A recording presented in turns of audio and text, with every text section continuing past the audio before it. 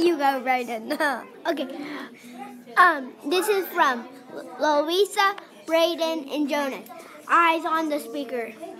Active listening is thinking about what the speaker is talking about. Active listening is a still body. Active listening is a level zero voice. Woo!